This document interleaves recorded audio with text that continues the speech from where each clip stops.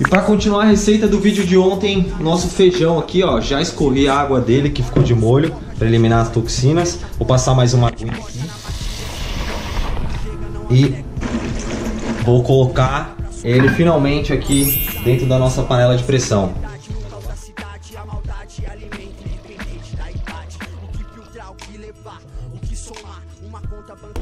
E aí, agora a gente vai usar louro. Você pode encontrar esse louro aqui, ó, no mercado.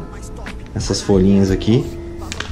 Três dentes de alho, essa cebola inteira, o azeite aqui para refogar, sal, pimenta. Aí aqui não vai ter segredo nenhum. Você vai colocar feijão aí dentro. Aí as folhinhas de louro.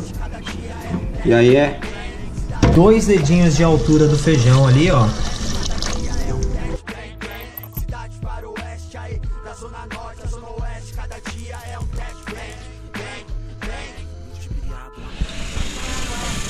Olha lá. Tá começando a pegar pressão. Então, deixar ela ali quietinha. Aqui, ó, já tá a cebolinha cortada, o alho cortado. E para vocês que reclamaram aí que eu não usei coentro na guacamole, tem aqui a misturinha, ó, coentro e salsinha que eu vou botar no nosso feijão. Tá lá, agora opa, pegou, hein?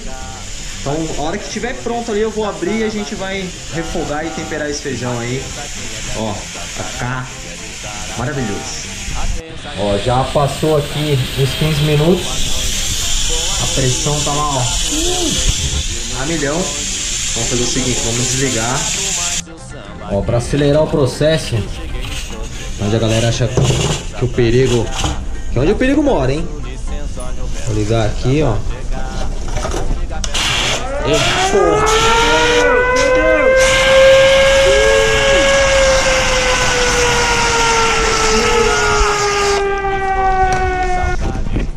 Você viu? Não explodiu. Deixa eu limpar. Não, pega nada. É só ter cuidado com a panelinha de pressão, porque também ela vai cuidar de você, tá bom? Tá esfriando aí. A gente vai abrir pra ver como é que tá o nosso feijão.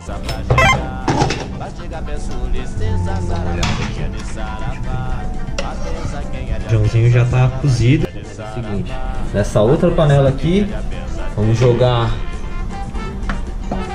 o azeite. Pega lá o fogo. Eu peço licença pra chegar. Pra chegar, peço licença. Olha, eu peço licença pra chegar. Joga refoga aqui dentro. Licença, saravá, é de saravá. Pimenta do reino. é saravá, é. Amassa um pouco dos grãos. É. Que é o que vai deixar o seu caldinho mais espesso, mais grosso, né? Então, deixa aqui, ó. Fogo baixo. Fogo baixo. Deixa ele aí de boinha. Vem e dá uma mexida nele de vez em quando. Daqui a pouco tá pronto o nosso feijão pra gente comer com o que a gente quiser. Mas a gente vai comer aqui com arroz que a gente fez no outro vídeo. Então dá pra você comer aí um prato de arroz, feijão e bife acebolado, sendo vegetariano também. Pode pegar sorvete, mas não tem uma concha pra pegar ali. A vida é assim, né? Você esperava que ia ter uma pandemia aí pra você ficar em casa trancado? Não esperava por essa também, né? Então, segue a gente aí e até o próximo vídeo.